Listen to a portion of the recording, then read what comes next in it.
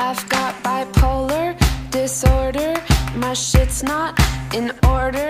I'm overweight, I'm always late. I've got too many things to say. I rock mom jeans, cat earrings.